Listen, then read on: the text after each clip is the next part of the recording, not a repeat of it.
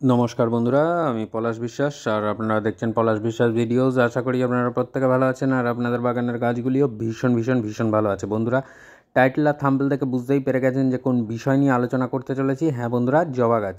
এই হিবিসকাস বা জবা গাছের এই গ্রীষ্মকালীন যে পরিচর্যা, কারণ এই উত্তপ্ত প্রখর রৌদ্রর হাত থেকে আপনার জবা গাছগুলিকে কীভাবে আপনারা রক্ষা করবেন এবং সুস্থ, সবল রাখবেন তারই ডিটেলস ভিডিও নিয়ে আজকের আপনাদের সামনে উপস্থিত হয়েছি।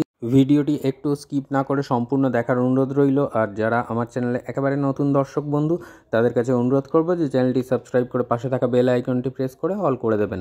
বন্ধুরা, এই যে প্রখর যে সূর্য কিরণ, যা আমাদের কিন্তু জবা গাছগুলোর উপর ভীষণ ভীষণ ক্ষতি করছে, কারণ এমনিতেই জবা গাছের একটা সমস্যা দেখা যায় যে পাতা হলুদ হয়ে যাওয়া কুড়ি ঝরে যাওয়া, এগুলো কমন সমস্যা একটা কাজ করে। তার মধ্যে কিন্তু এই যে প্রখর রৌদ্র হাত থেকে কীভাবে বাঁচাবেন, তার জন্য মেইন যে কাজটা দেখুন, দেখিয়েই দিচ্ছি স্ক্রিনে দেখতে পাচ্ছেন মালচিং।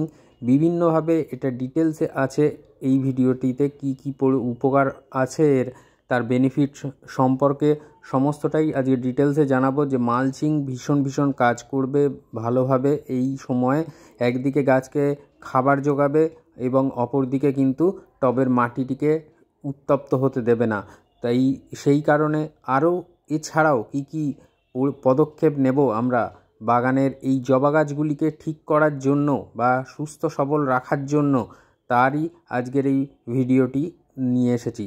সবার প্রথমে কিন্তু একটা কথা বলে দিই বন্ধুরা যে এই সময় কোনো ধরনের রাসায়নিক খাবার আপনারা কিন্তু আপনাদের গাছে দেবেন না। এটা বারবার অনুরোধ করছি যে কোনো ধরনের রাসায়নিক খাবার আপনারা গাছে এই সময় দেবেন না, সেটা সেটা পাতায় পোলিও স্প্রে হোক, আকারে হোক কিংবা টবের মাটিতে হোক, কোনো জায়গায় কিন্তু দেবেন না। কারণ এই যে রোদ, রৌদ্রের মধ্যে কিন্তু আমাদের ফুলগুলোও ফেড হয়ে যায়। আমরা দেখতে পাই যে গাছের যে ফুলের কালার সেটা নষ্ট হয়ে যায়, পাতাগুলো নিচের দিকে ঝুঁকে যায় তো এই সমস্ত যে সমস্যাগুলো দেখা দেয় তার জন্যই আমি বলছি যে কোনো ধরনের দেবেন না। এটা কারণ হচ্ছে এত হিট আর রাসায়নিক খাবার কিন্তু ভীষণ পরিমাণে হিট জেনারেট করে।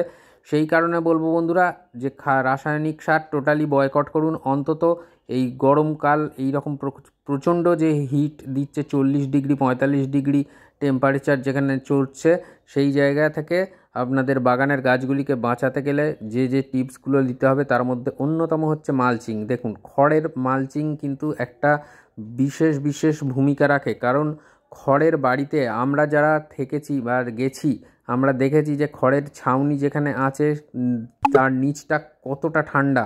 সেই জন্য বলব বন্ধুরা যে টবের এই খড় জোগাড় করুন, আপনারা যেখান থেকে পারবেন আপনারা জোগাড় করুন। যদি আপনারা শহর এলাকায় থাকেন তাহলে খুবই সমস্যা হয়ে যাবে।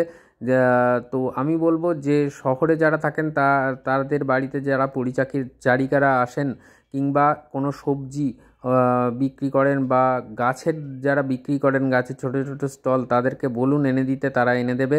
তো এই মালচিংটা খড় দিয়ে করলে কিন্তু মাটি ভীষণ পরিমাণে ঠান্ডা থাকবে এবং খুব ভালো কাজ দেবে। এরপরে খড় যদি না পান, তাহলে কিন্তু এই পেঁয়াজের খোসা, এই পেঁয়াজের খোসাটা ব্যবহার করতে পারেন, যেটা কিন্তু অতি সহজলভ্য আমাদের, আমরা গ্রামে থাকি, মফস্বলে থাকি কিংবা শহরে থাকি, এই পেঁয়াজের খোসা কিন্তু আমরা সকলেই পাবো। তো খড় না পেলে তখন দ্বিতীয় পন্থা হিসাবে কিন্তু আমাদের এই পেঁয়াজের খোসাটাকে ব্যবহার করতে হবে।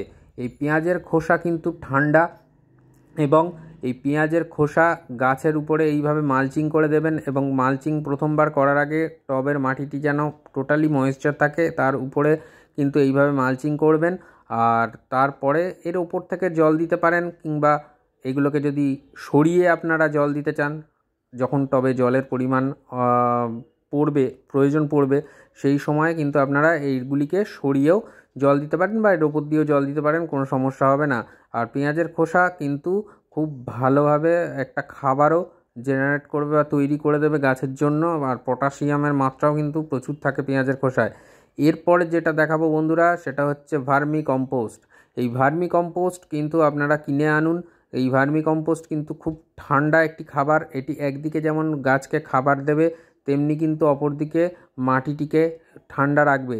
কমপক্ষে দু ইঞ্চির একটা লেয়ার আপনাদের কিন্তু টবের মাটির উপর থেকে দিতে হবে এই কম্পোস্টের। আর এই কম্পোস্ট যখন আপনারা টবের মাটিতে দেবেন, তখন কোনোভাবে টবের মাটি খোঁচাবেন না উপরের টপ সয়েল ভিজিয়ে দেবেন, ভিজে থাকবে হালকা। তার উপরে কিন্তু এইভাবে বার্মি দিয়ে মালচিং করে দেবেন। তাহলে একদিকে গাছ যেমন নিউট্রিশন পাবে, খাবার পাবে, তেমন অপরদিকে কিন্তু প্রচুর পরিমাণে ঠান্ডাও থাকবে মাটিটায়। এরপরে যেটা সবচেয়ে গুরুত্বপূর্ণ বিষয়, সেটা হচ্ছে এই স্নান করানো। আপনাদের পাতা, দেখুন জবা গাছের পাতাগুলো কিন্তু হলুদও হয়ে যাচ্ছে এবং উত্তাপে পুড়েও যাচ্ছে। তো সেই জায়গা থেকে আমাদের যেটা বাঁচাতে পারবে সেটা হচ্ছে ঠান্ডা জলের স্প্রে আপনারা যদি সম্ভব হয় ফ্রিজের ঠান্ডা জল ব্যবহার করুন।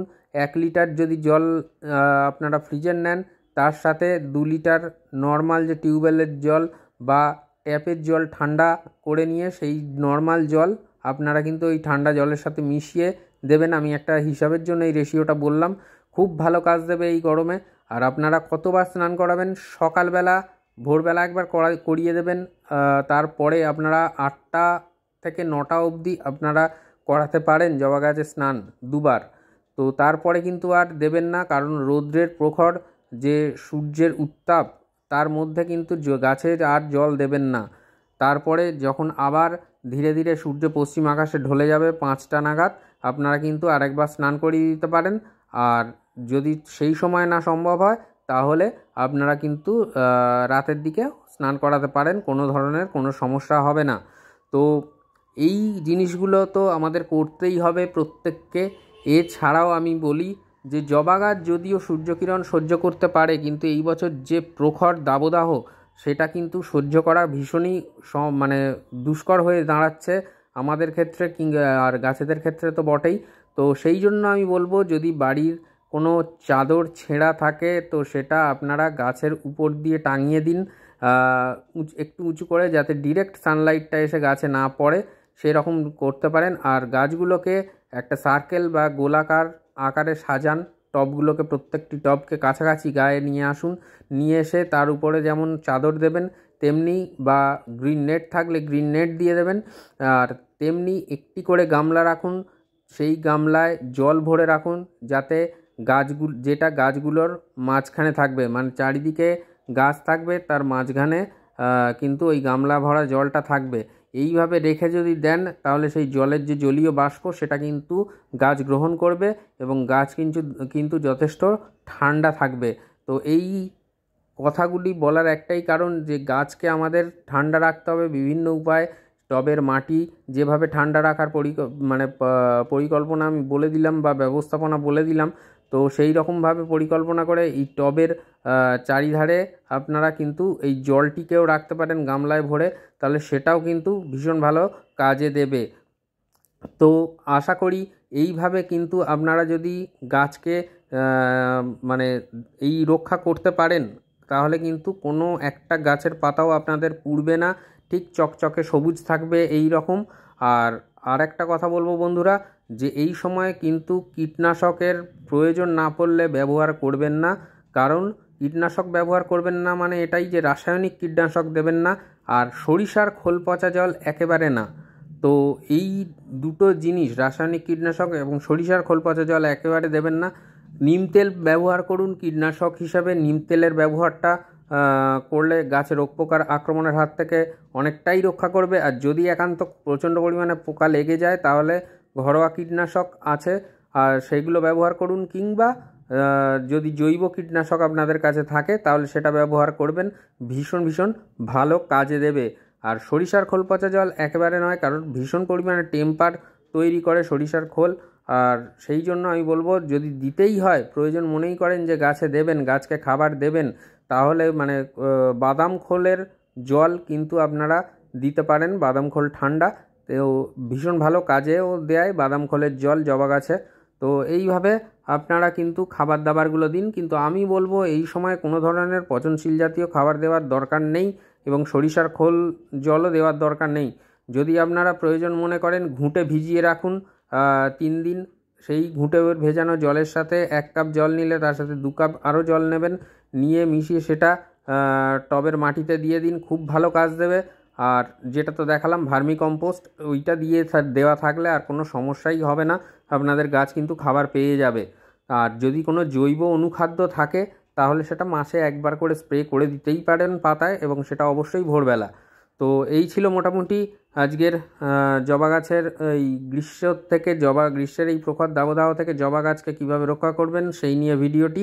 যদি ভিডিওটি ভালো লাগে তাহলে অবশ্যই একটা লাইক, কমেন্ট আর বাগানপ্রেমী বন্ধুদের মাঝে শেয়ার করে দেবেন যাতে সহজে, সুন্দরভাবে আমরা সকলে গাছকে রক্ষা করতে পারি এবং সহজে বাগান করতে পারি।